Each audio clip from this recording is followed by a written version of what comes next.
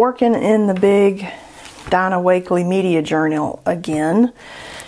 Um, so we've got two pages in here that are started. I don't consider either one of them really finished, but I feel stuck. So, and I've been playing with some papers. Maybe I could put some papers out here, or maybe I could, you know, do some collage on top of there. Maybe this yummy piece of, I don't know what this is, like some kind of ribbon, but it's it's like the jute stuff. Um, but I thought maybe, you know, I could somehow work some of this in here. So I was pulling together some ideas and I couldn't really get anything to feel right. So rather than getting stuck in my book on a page that I'm like, do I want to add more stuff to it? Is it done like it is for now? I feel like it's not really done with the flap I put in it, but I don't know where to go with it. So rather than get stuck on this page, I'm going to flip the pages and go somewhere else in this book to work. Um, so, you know, we might we might do something over here instead. I'm kind of feeling like maybe I'd like it with um, maybe go back to some of the stuff that I really like, like a great big piece of abstract, something I don't plan on working on. Well, I could. You know what? Just forget I even said I don't plan on because we'll, we'll just change that plan right now and maybe go over the two pages and see what difference that we can get here um, with this big piece of craft paper. Now it is really thick and I almost feel like we'd be okay painting right on that craft paper, but it's going to soak up stuff even more than our um, watercolor rag paper.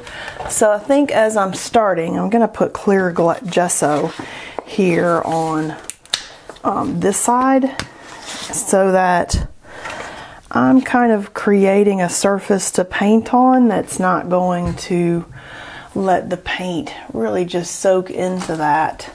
Um, so I'm going to just put the clear gesso on and use that as my um, primer for this page. And it dries clear so I'm not even worried about what that's going to look like because you're just not going to see it but it'll let my paint kind of sit on top rather than going down in it. And I feel like I just want to go abstract today and we'll see where we end up alright so we're gonna just let that dry and it won't take that long and I think I want to do it as a color palette challenge. So I did pull something out of my uh, Sarah Renae Clark Color Cube Volume 2. Let me set that out of the way. So this is the Color Cube number 2. Um, and I've just pulled out a card that I thought, ooh, look at these colors. Um, it's like a brush hair on my piece there. And so um, that's what I've got today that I'm gonna just, I'm gonna experiment with. And I was pulling out some, I've got these little uh, pots of mineral paint, which are basically furniture paint, but I like the colors and I'm not trying to put this up for sale for somebody else, and so I'm going to use this. Um, I've got these kind of colors here in between this brighter orange and this salmon color and I might pull some of those in with some mark making but I also thought that maybe I could mix some of the colors that I found to kind of get in that range because I didn't have anything exactly that color. So I've pulled out Blick Matte Acrylic Red Blue Red Light and then this is a Fusion Paint. Cranberry Prairie Sunset um, this is a little bit lighter than this green, but it's conservatory and I liked it. And then this last color is, I think it's peony, but it's got paint on it. Peony. and it's a really light pink, so I just thought we could mix some colors together. And then we've got this kind of um, graphite color in here, so I could use some liquid pencil, maybe even like um, some kind of bold mark with a graphite crayon. So that's just kind of where I'm thinking and the color palette that I was going to be inspired by. And I've gotten to where I really like using color palettes like this because I can then set aside the ones that are my super very favorite and keep on using those as say like my signature palettes. But I find color frustrating even after working with it for 30 years in the different careers that I've had. And I find that this just removes the hardest decision in my art making process. Gives me a color palette to then go with. So I'm going to be inspired by that one. I don't try to get the colors exact. That's not my goal.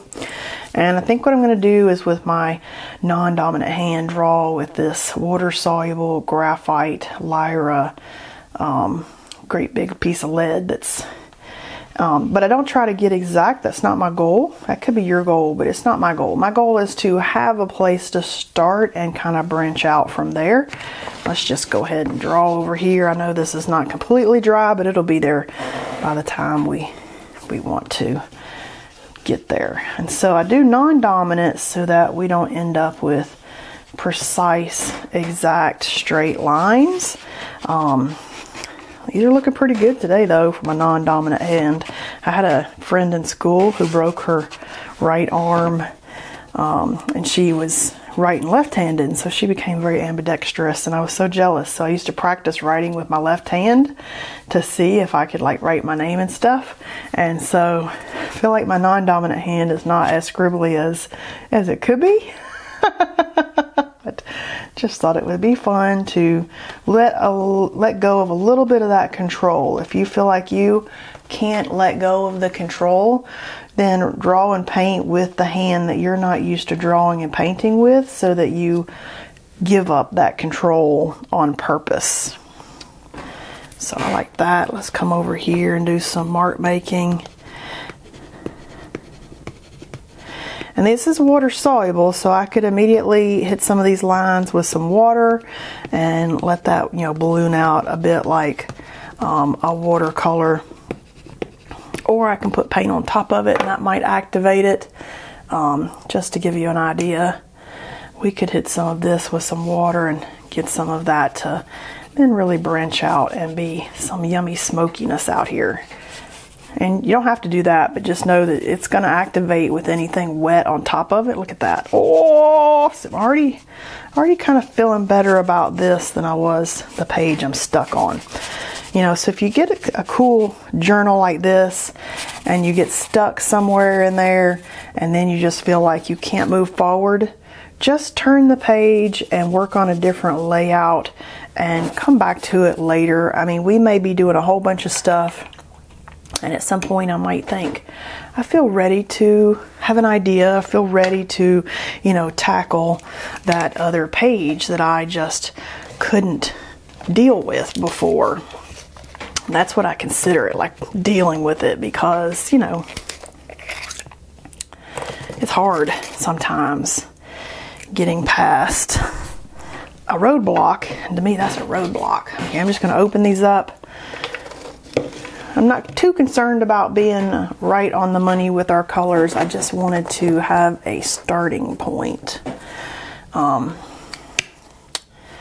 so I'm almost thinking like we could either put some paint out because what I kind of, yeah, let's just do it. What I want to have is maybe some areas of big swashes of paint. Let's do this with, let's do this with our silicone bowl scraper. So this is a, I'll put it in the link. This is a Miser Mister or something like that. I can't think of the name off the top of my head, but I will put a link. It's a silicone bowl scraper that you use with oil and cold wax. This one's actually a Zoe Chloe, um, but it's it's patterned after the one that you generally see people use with oil and cold wax. I must have got this one as a, oh look, it's another one similar to the one I like. but I love it. And so we might say, okay, working with this color palette, and let's work with a non-traditional tool. So I like that. That means I'm to have to get some of this out of here with maybe like a palette knife. Yeah, let's do that. I kind of feel like let's just work with weird stuff today. Oh, look at that. Oh. okay, I'm feeling good already. Oh my gosh. Oh my gosh. Like, totally, I was getting very upset with those other pages. Um, trust me, we all do that. Now, it's like almost like, okay, wow, I'm so glad that I didn't get hung up and then not revisit that because I purposely made myself sit down. I was going to do something else and I still might as like a secondary project, but I was going to just abandon this book almost. I mean, you get to the point where you're like, okay, I feel stuck and I don't know where to go. And now I'm frustrated with, you know, working in, say, like an art journal. And now I never visit it again because trust me, I got tons of journals, which is why it's my goal this year because my, I really want a beautiful, full art journal that I can then flip through and be like, look at this really cool thing I made. That's what I want. I want my own little art journal book. It's a sticker that's randomly sitting over here. What did that come out of? I think that came out of like the holiday box for one of my subscription, like the maybe the uh, sketch box. This stuff dries really fast, but I, yeah, I want a book that just like other people you see flipping through like on Instagram and stuff. I want a book like that to flip through too. And every time I sit down to make a you know, a journal or something like this, sometimes I, I leave my desk frustrated because it does not do what I thought it should have done. I can't really loving this over here. Um, so I almost was not going to revisit that. And I, I'm, I'm, so I purposely sat down today and thought, we're doing this. You're getting that back out and we're going to a different page and we're doing this. Whoa, look at that. Whoa, oh, look at that. Whoa. Okay, that's yummy. Kind of forgetting this whole side over here, but that's okay. It's like I love this right here. yum, yum, yum. now, I almost do not want to use this. Um, ooh, totally broke that. Look at that. Oh my gosh. it's a good thing I have a whole stack of these plastic knives over here. I keep a bunch of these. I could use the metal ones, but the plastic, I got a whole bunch of these over here, just different sizes and um, different little things like that. Um, yeah, because apparently I like to randomly break stuff accidentally. So now I'm almost feeling like I like this colorway without adding like the the darker cranberry or the green. Like I'm digging this. And you know, when you're doing a color palette thing and you're like, oh, I think I'm there with this right here, you can you can pause the colors in your piece or you can be like, okay, I'm gonna mark make with some of these colors instead of continuing to add to the piece with what I was doing. And I'm kind of feeling like I want to add to the piece. Some of these are starting to dry out. So these little furniture paints apparently dry out. I don't even care that they're furniture paint. I love them. oh, I feel like, oh, oh, I love this one. So let's get maybe, maybe some, let's let this dry. I'm gonna dry this. All right, probably the thickest paint's not so dry, but it's dry enough for me to now kind of just decide like, do I want to Oh, look at that. That just kind of peeled right up. But do I want to mark make in some of the colors that are in our palette? So yes, I've got this kind of salmon color. So I haven't abandoned my color palette, but I'm kind of pulling it in with another medium. It doesn't all have to be the same medium. And I like that we can come in with a color that we're like, do we want to add that? But we can kind of come in um, a little bit different than maybe we intended. And I like that. And now I'm just mark making and playing. Oh, yes, yes, yes, yes, yes, I like that. I love it. And you know, I love the Neocolor 2 crayons. You usually see me use those pastels because that's what I was currently obsessed with this past year. But I have all the Neocolors because I've been obsessed with them for many years. And what I like about these, especially in a um, art journal like this, is you're not going to have it bleed onto each other like you do with the oil pastel. So I kind of like that um, we're doing that with this instead. I don't feel like I have to coat that with something to keep it from bleeding into the other page when I shut up the book. Wow, look at that. Look at that. And this, you know, this could end up being a background. Um, it could end up being finished. There's nothing saying that you have to then add stuff on top of that. I almost want to pull in this wild um, kind of red color. So I'm just kind of matching that up over here with some of the colors that I've got in the Neo Color 2 box. Um, so yeah, let's just, doesn't have to be like a huge amount of that color, but we could come in and just kind of work a little bit in it in some marks here. It's weird working on colored pages, which is why I like that there's some craft paper and other things in here. Uh, because that's why too I've got a sketchbook um, little set of papers. Maybe not a sketchbook, but it's like these little 4x4 tan watercolor papers um, by Sketchbox. I love using this tan paper. It makes the coolest little abstracts and stuff. And so I think it's really fun a lot of times to play on something that you definitely wouldn't pull out and normally work on. And I thoroughly enjoyed that tan paper. So I'm like, okay, I love that this has this yummy craft paper in it because then we could experiment more with a colored, something not starting off with white. I love that.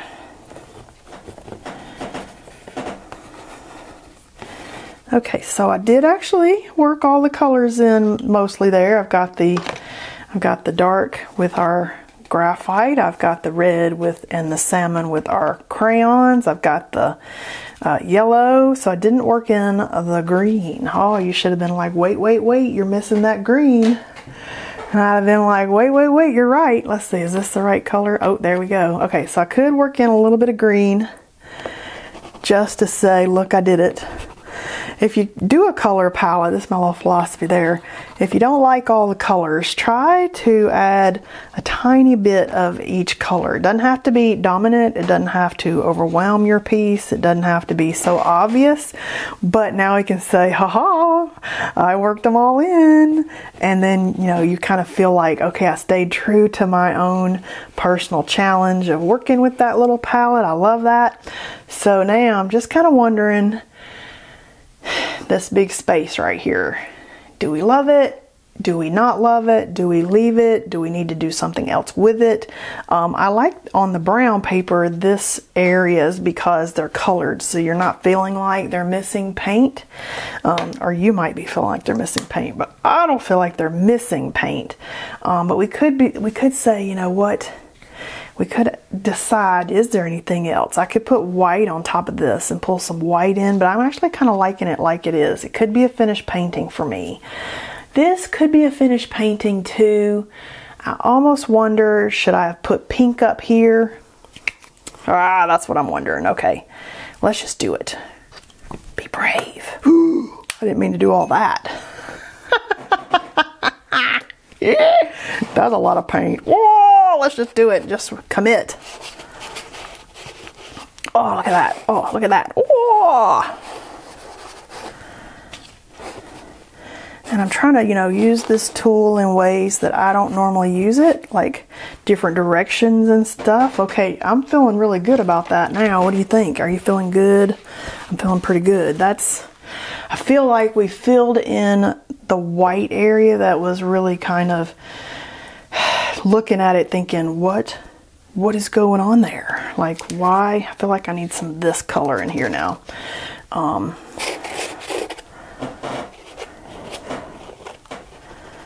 oh, look at that. Look at that. Okay, now I'm feeling good about it if, you, if it doesn't feel finished yet, you don't have enough layers, which is why on those other pages I'm feeling stuck because in my mind I can't visualize yet what those layers look like. But when you get to an abstract, I'm like, oh, ho, ho.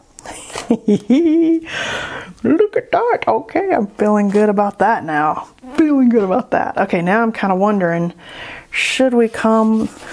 Don't you love it how I'm like thinking out loud and then I just put that thing down? like should we put something over here in this corner here and in the end it was like yes yes we should. Just set that down while you're talking. If you have a hard time letting loose some of your stuff try talking your way through a painting. You cannot put all your energy into the stress of the painting while you're running your mouth. So if I'm talking to a camera so I'm basically talking to you but at the same time not really talking to anybody.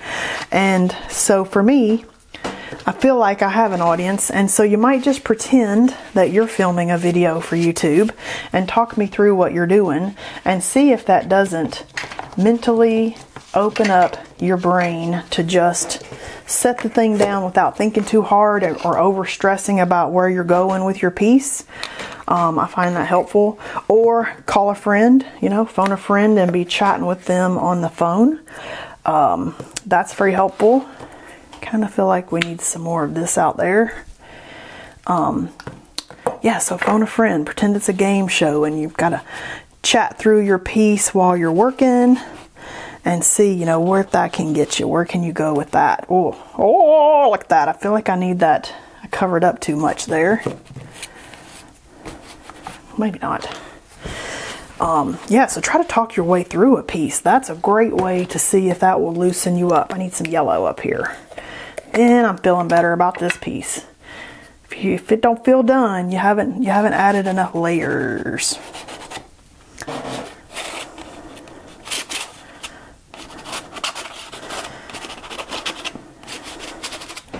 And we could do stencil work on top of this. We could do all kinds of stuff, but I am kind of feeling pretty good about it being just great big abstract double page similar colors, different backgrounds to give you a look of, you know, what is it doing. We could have, okay, consider this, what we could have done is done like a dominant one color over here, say like that pink, and then over here do something else as the dominant, like opposite that. So we could have, you know, like reversed the colors that we were working with on here. That might have been fun lots of options, lots of good options. Now I feel like I need some mark making. So this is still wet, so I'm kind of drawing in the wet paint too, but that's okay. I like it.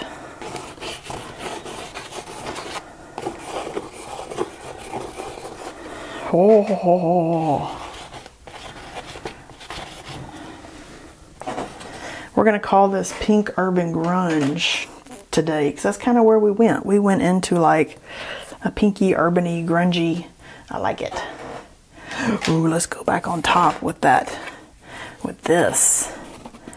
Let's get some of this back out there. So we've still got wet paint. I can definitely see that. So when it's dry, we'll get real good marks right on top. Oh, this almost feels very graffiti, graffiti-ish. I like it. Oh, oh, oh, oh, oh, I like that. That's a nice fun little in the uh, in the fold kind of pattern. I liked that.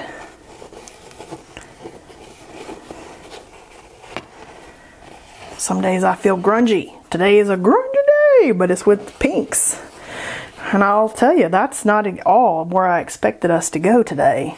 I kind of expected it to, I don't know, look a abstract, but I, this is not what I envisioned. And so start with no expectations, pick out a color palette, pull out a few yummy supplies and just see like where do you end up? It's not it's not the goal to end up anywhere specific and then just delight in the area that you ended like, you know, didn't even expect to be here, but look at this. Super fun.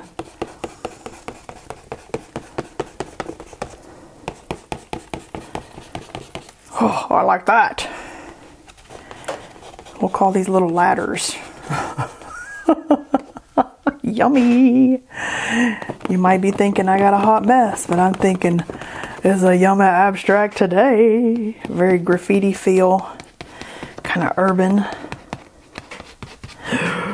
I love that. Oh my gosh. You could come on top of that and do some other stuff, you know, if you're doing a page kind of like that. But I'm really feeling like this is it. This is where I wanted to be. I wanted some yummy abstract. I could cut this out and frame it if I wanted to.